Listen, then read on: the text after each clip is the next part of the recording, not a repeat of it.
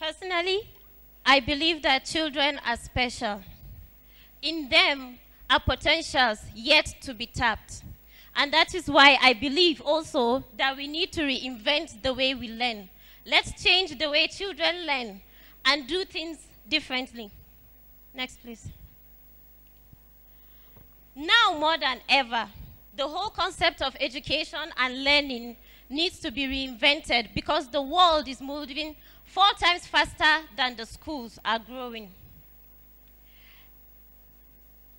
School should be a place for fun, more like a Bunny and Friends adventure.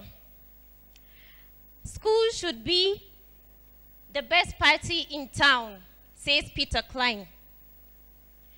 Our aim is for the school to be the best, not a place for failure, a place where all children are recognized, their ideas, their talents, their creativity is brought forth to bear. Next, please.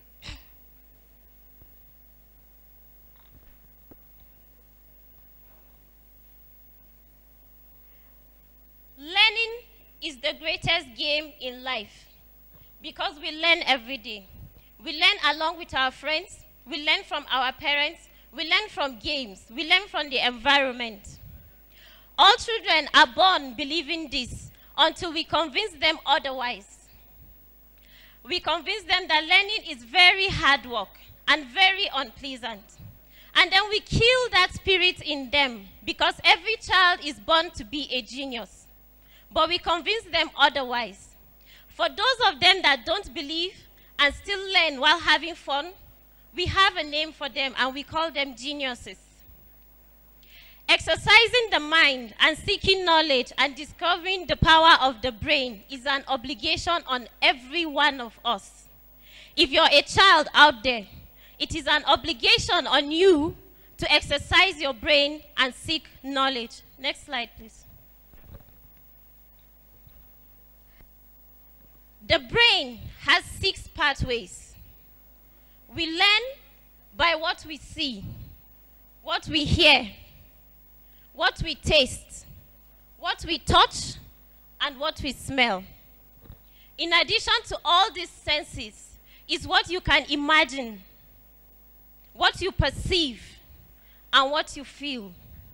So, as a child, if you can imagine a story, perceive it, put your emotions into it, and write it, that makes you a genius, a genius in the making.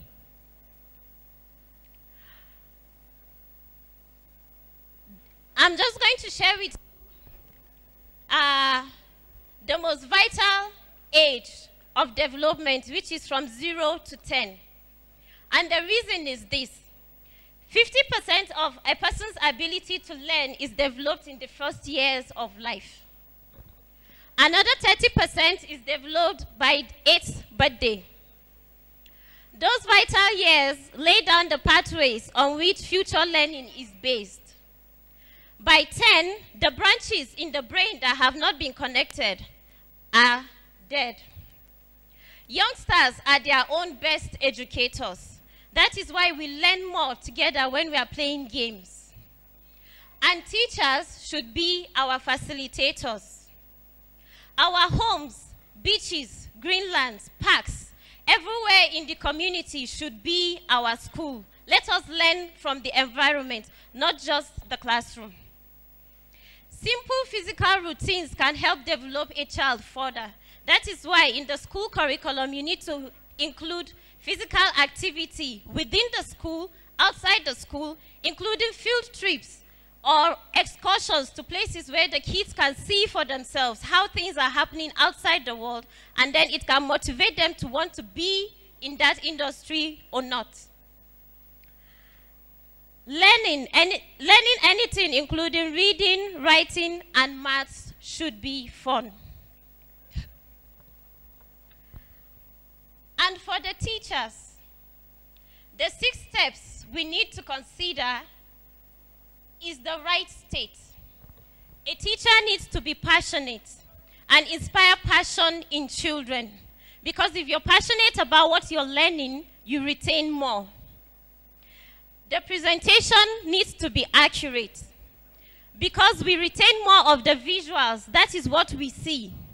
Our teaching should come with illustrations for you to take home, share with your friends, and also use in school.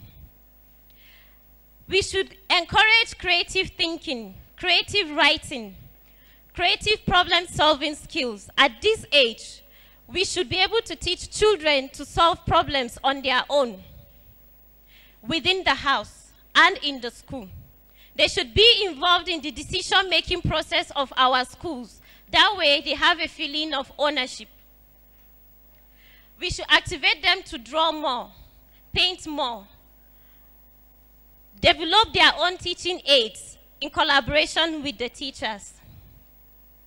We should be able to review, evaluate, and celebrate. To review and evaluate along with the student gives that student a feeling of ownership. He's taking responsibility for his or her learning.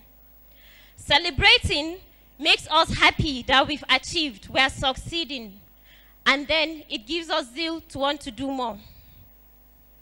My fantasy school is here already, and it's located in New Zealand.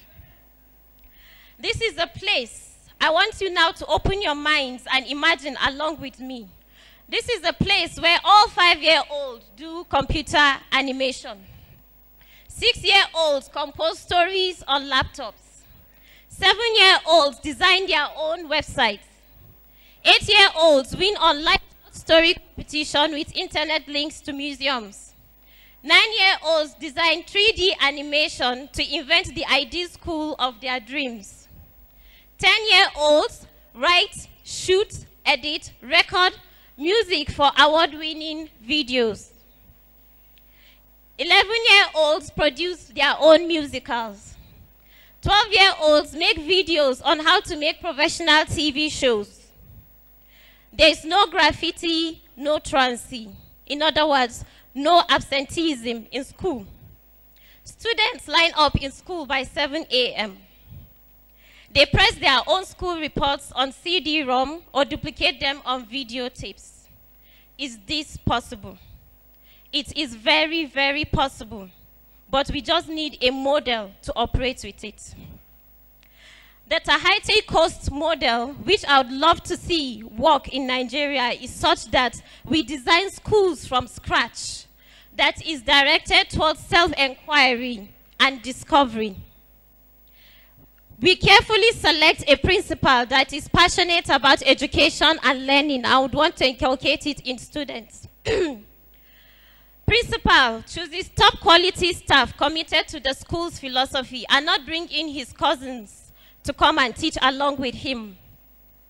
We establish a grant to provide world-class IT resources. We, we plan computers, VCR, and multimedia tools to support the learning philosophy. We set up multiple intelligence centers that suit each learning style. These learning styles are this. For some of us, our learning style is visual, what we see. For most of us, it's what we hear. And some of us are kinesthetic learners. It's what we do that we remember more. We provide each teacher with a personal laptop and access to internet. We make every teacher a learner and every learner also a teacher. We build warm, personal, and multimedia homeschool reporting links where parents can go and they can see their child's academic performance and discuss with the child while viewing it online, for instance. We form business partnerships. And for them, they say they partner with schools around the world, from China to America. Imagine you're in your classroom, you're having your class, and you're having an interactive session with another child in China. You're making friends. You're sharing ideas. You're learning something new. Why should we reinvent the way we learn? It's because at the center of learning is self-esteem. It is a program for success, not for failure, and it is meant for everybody. You learn the lesson from the big achievers because if we are to set this, then we bring mentors professionals in their fields to interact with the students and build them. And this concentrates on six vital ingredients, which are your physical safety as a child in the school, your emotional security. At that age, you're taught how to react based on your feelings. Your identity as a person. Who are you? What do you want to be? What is your future dream? Your affiliation. You build friendship, not just with pupils in school, but with teachers. You build your competence in a field that you desire, be it music, uh, filmmaking, medicine, and you have a mission. This mission should be an overall big dream that you have, not just for yourself, but for your family, for your community, and for your nation at large. I'm going to read out this poem by Diane Loomans from Full Esteem Ahead. It's titled, If I Had My Child to Raise Again. If I had my child to raise again, I would finger paint more and point the finger less. I'll do less correcting and more connecting. I'll take my eyes off my watch and watch with my eyes. I would care to know less and know to care more. I'll take more hikes and fly more kites. I'll stop playing serious and seriously play. I'll run through more fields and gaze more at stars. I'll do more hugging and less talking. I'll be firm less often and affirm much more. I'll build self-esteem first and the house later. I'll teach less about the love of power and more about the power of love. Because loving yourself is the first thing for you to build your self-esteem I want to learn whatever it takes for you to learn to be who you want to be. The new model is to make the impossible possible. And we're doing it already. By talking about it, we're doing it already. Thank you.